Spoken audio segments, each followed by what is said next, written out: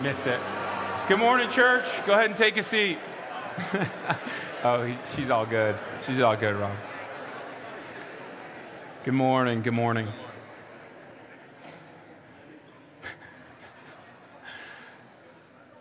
I see a gentleman in the back corner over here, more happy than usual, and I'm guessing it's because we got a dub yesterday. Is that right?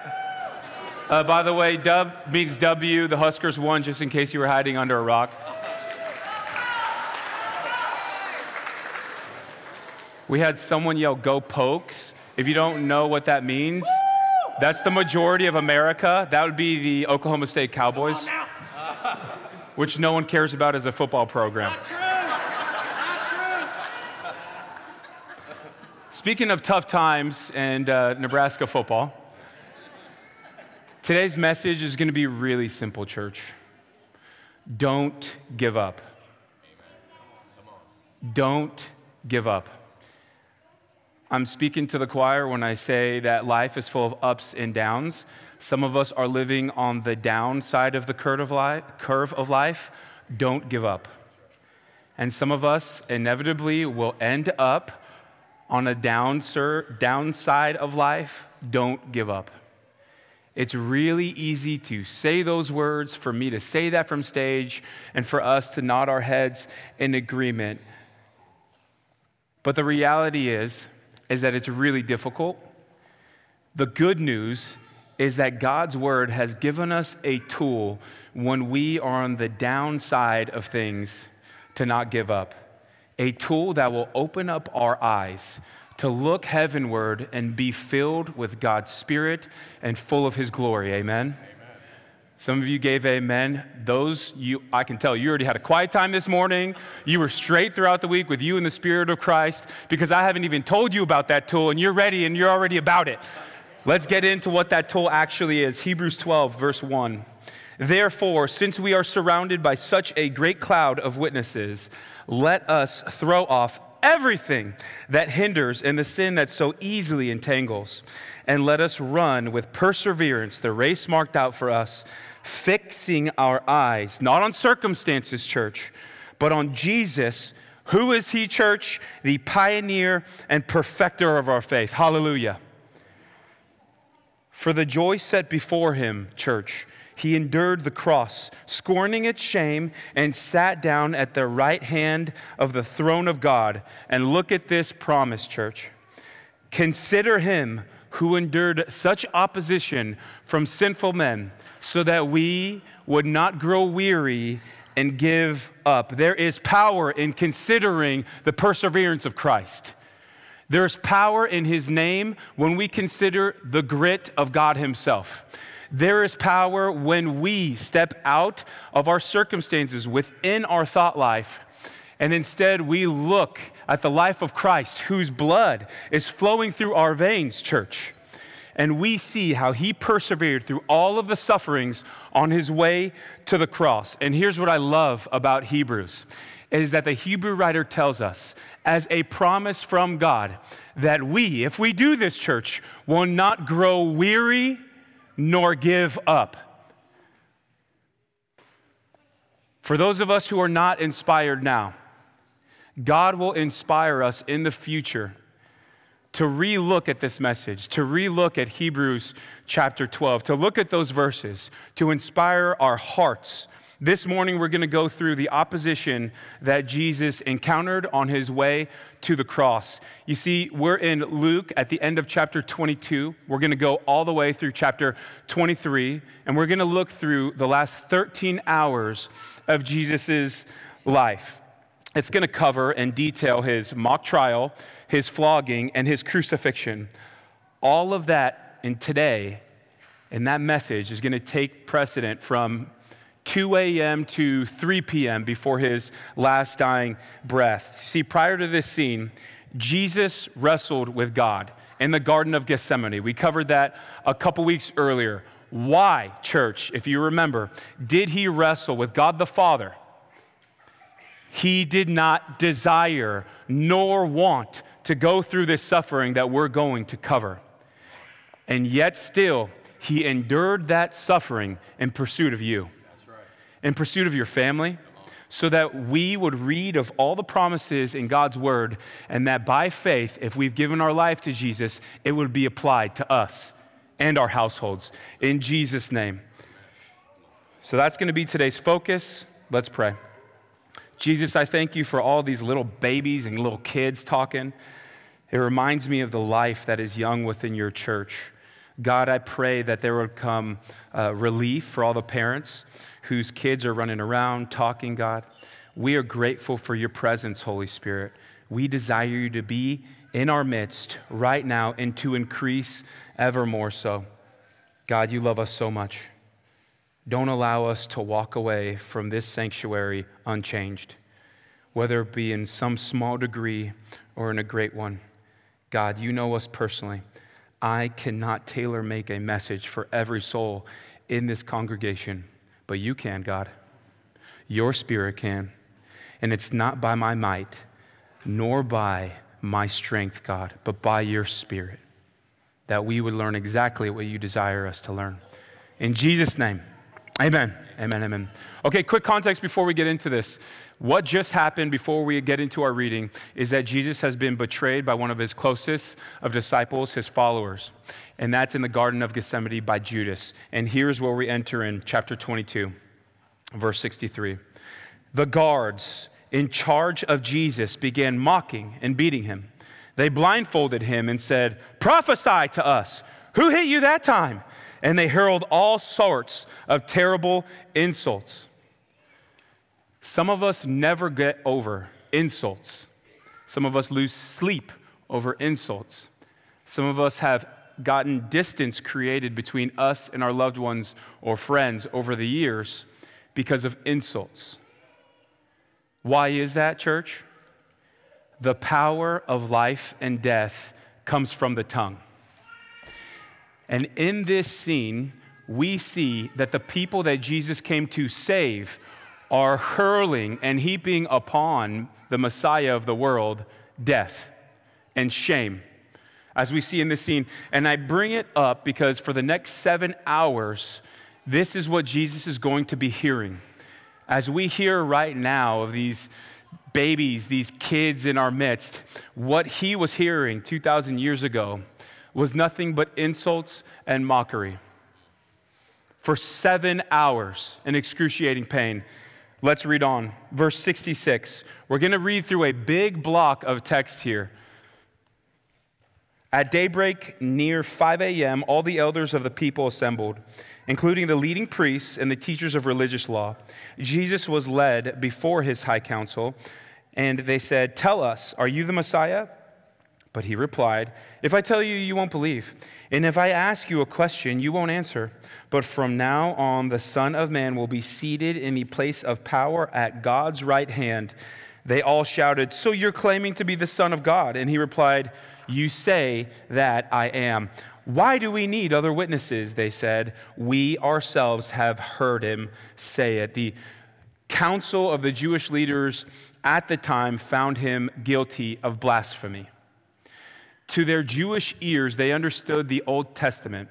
And when Jesus is saying that he is the Son of Man, that's a reference to Ezekiel. When he says that he's the Son of God, they recognize he's equating his characteristics and personality to God.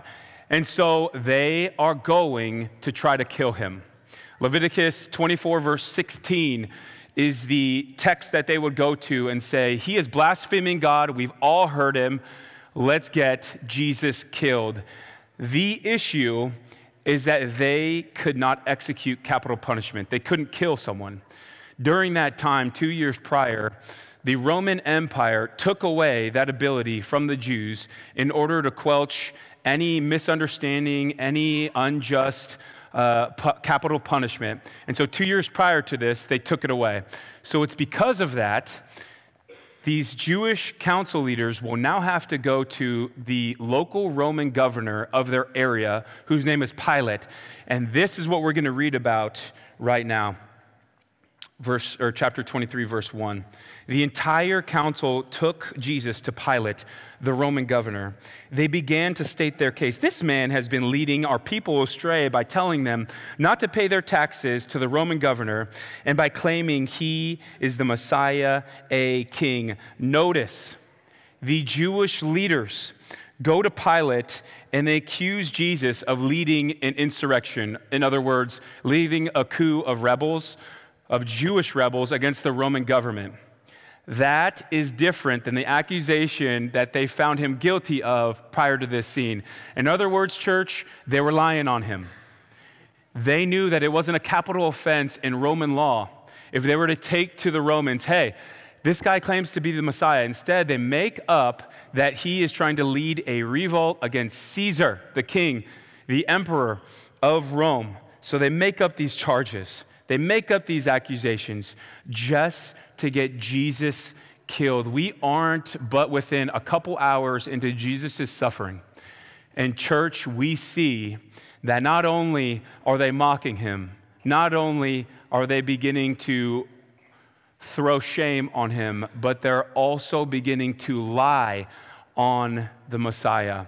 Church, consider him who endured such opposition from sinful men so that we would not grow weary and give up.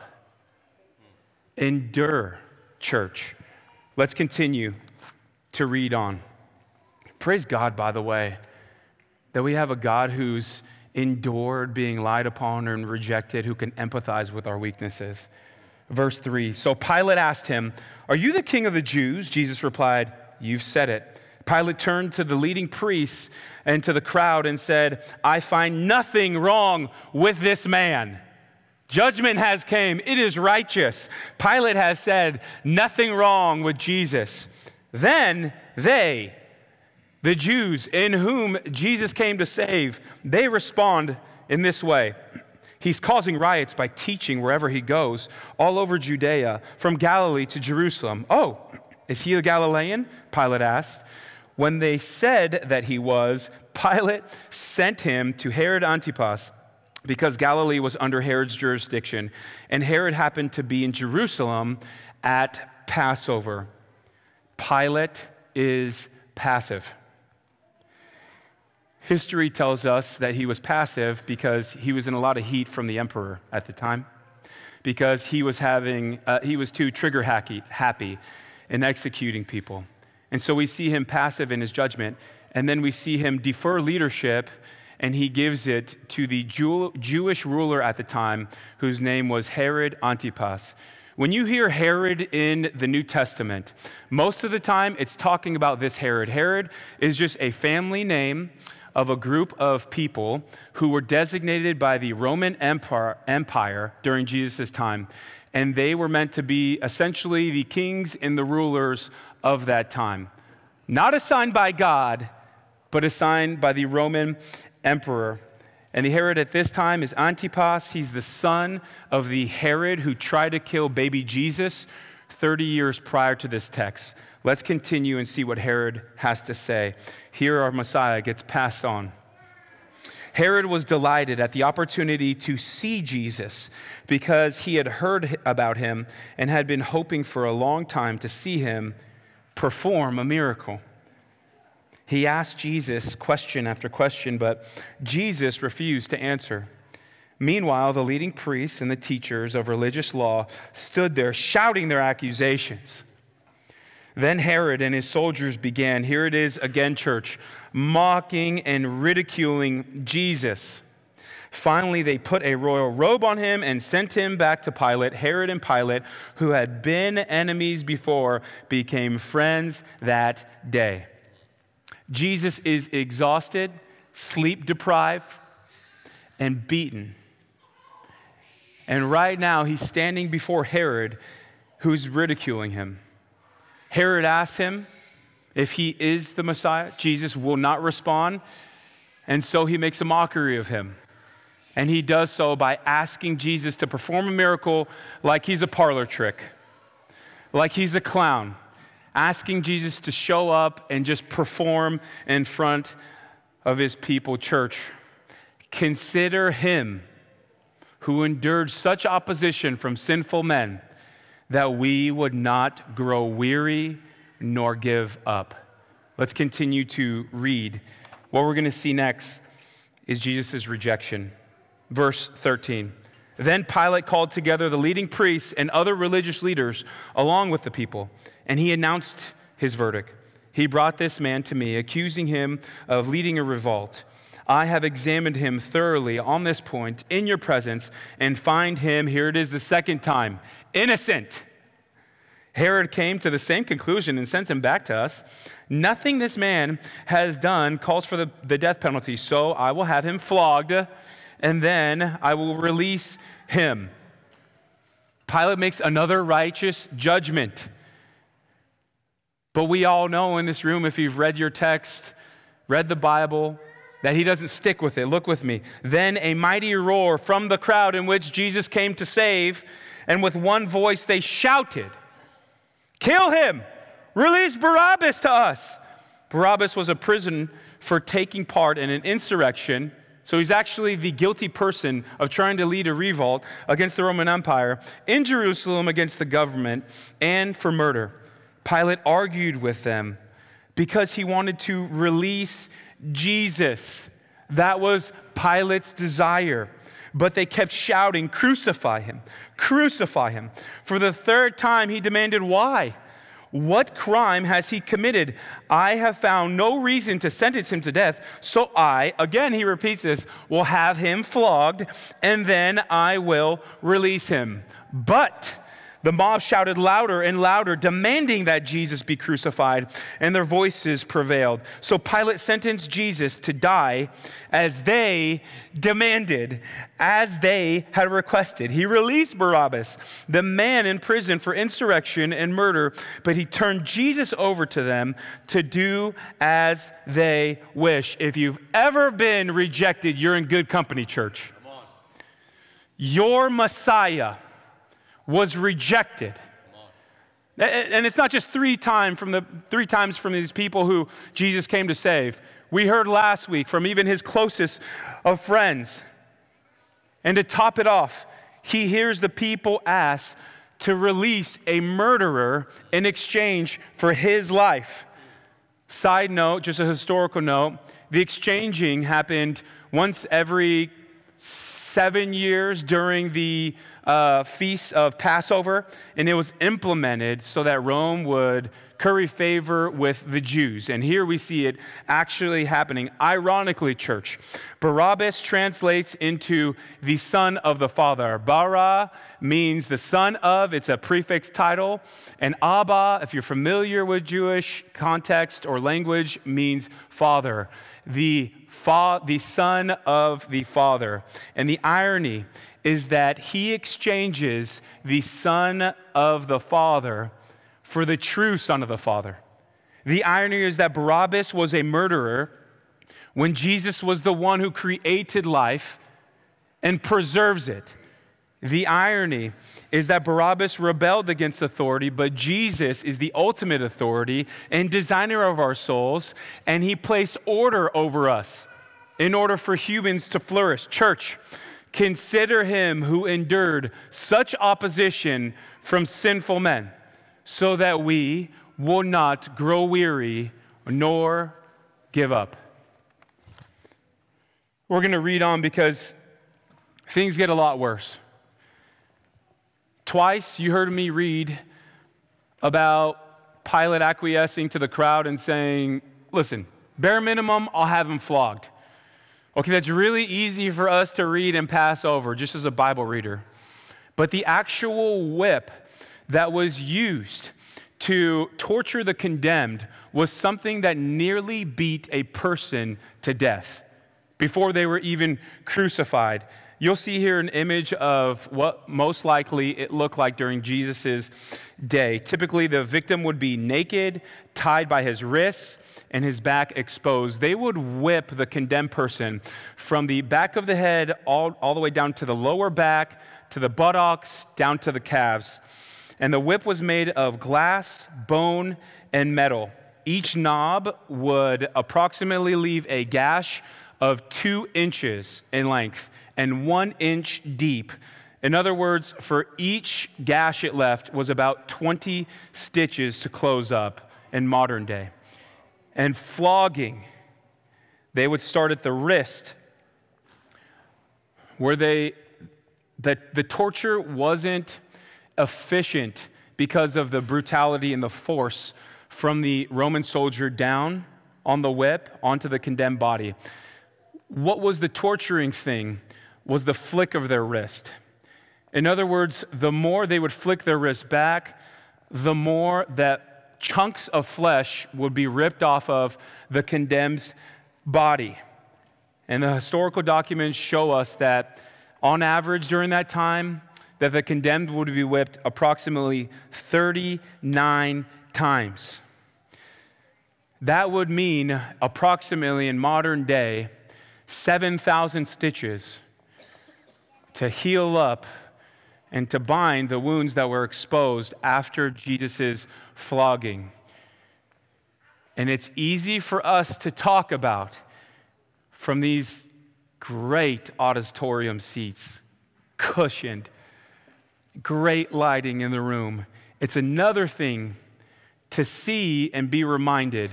So, right now, you're going to see the screen come down, and we are going to watch the Passion of the Christ, a few minutes of what that flogging looked like. Warning if you do not want your children to see this, feel free to exit at this time because it's going to be a brutal beating that we're going to end up seeing in which our Savior endured. I understand the risk that was taken by showing that. Oh my gosh, amen. I understand that there's probably going to be um, some conversations that some of us will have to want to have with our kids. I sense the Spirit's leading because some of us need to be woken up into the realities of what it really cost us to have the Spirit of Christ within us. Isaiah 53, have this in mind. Verse 3 reads, He was despised and rejected, a man of sorrows acquainted with deepest grief. We turned our backs on him and looked the other way. He was despised, and we did not care. Yet it was our weaknesses he carried, it was our sorrows that weighed him down. And we thought his troubles were a punishment from God, a punishment for his own sins. But he was pierced for our rebellion, crushed for our sins. He was beaten so we could be whole. Hallelujah. He was whipped so that we could be healed. Hallelujah. All of us, like sheep, have gone astray. We've left God's path to follow our own. Yet the Lord laid on him the sins of us all. He was oppressed and treated harshly, yet he never said a word. He led like a lamb to the slaughter, and as a sheep is silent before the shears, he did not open his mouth. Unjustly condemned, he was led away. No one cared that he died without descendants, that his life was cut short in midstream. He was struck down for the rebellion of our people. Church, when we're on the lows of life, even in the mundanes, would we consider him who endured such opposition from men so that we would not grow weary and give up on God, on our families, on his people, on his spirit's leading as so much as we discern? There is so much more for us, church, that God wants to use us in and grow us through in these last days. We are a church that will always, by God's grace, center our understanding of existence on Jesus and his rescue mission. And we are grateful for his spirit that's been deposited to us to walk us through every season of life. Consider him, church. And for the person who has never or does not follow Jesus, I did not for 18 years of my life. I was comfortable living an independent life apart from my Creator, and I didn't even know it. Until one day, I said yes to Jesus when I was in depression in college. And by God's grace, He gave me His Spirit, and I experienced life that I didn't even know I was missing for the first time ever. And this right here was my main motivation in obeying Jesus for the first three years of being a son of His. You do not know what you are missing out on. This sacrifice that we just watched, which is a portrayal of what most likely happened, but was a diet version, most likely, of Jesus being beaten beyond recognition, that is applied. Every blessing of it is applied to the person who have put their trust in Jesus their creator. And I want to give you an opportunity right now as the worship team comes up. If you sense that that is where God is leading you, following Him is simple. There may be a lot of questions, but it's simply with a heart posture that someone would have that says, God, I'm done running my life in what I think would is the right way to do it, which ultimately lacks leaning on you as my creator. And God, I desire a relationship with you. I am willing to turn from the way that I valued life, and I'm willing to learn your teachings, follow you, and be restored back into a relationship with God the Father. My friend, this right here is a beautiful thing when you give your life to Jesus. So let's pray right now. Jesus, I am grateful and thankful, God, for this message that you've given us today near the end of the Gospel of Luke. God, I pray that you would continue to move our hearts into greater obedience wherever you would lead. And as uh, all the heads are bowed and eyes are closed, I just want to give that person who's in the room an opportunity to follow Jesus for the first time. I just, with everyone's eyes closed and head bowed down, just listen to this prayer that exemplifies a heart that is ready to give their life to Jesus. God, I don't have it figured out. I desire to follow you. I want you, God. I need you, and I give you ownership of my life. Jesus, I desire you to save me from myself and the repercussions of what it looks like to live apart from you. So, if that's you and your heart, I just want to pray that prayer as everyone's eyes are closed and head bowed down right now. And I just want you to repeat that if it resonates with where you are right now. Jesus, you can do it even in your thoughts. Jesus, forgive me for my sins. I desire to follow you. I don't have everything figured out. Would you please forgive me for my selfishness? And would you please give me your spirit right now. I choose to turn from my way of life and choose to turn to you. Now, with everyone's head bowed, I just want to let you know that if you prayed that prayer genuinely, God knows your heart. And a transaction has happened to where you have become his son or his daughter for the very first time. And that's all by faith. Nothing you've done, truly by faith. If that is you, I just want to welcome you into the kingdom if you're in here. If you wouldn't mind just raising your hand if that was you who prayed that prayer for the very first time. While all eyes are closed and head bowed, just want to welcome you to God's kingdom.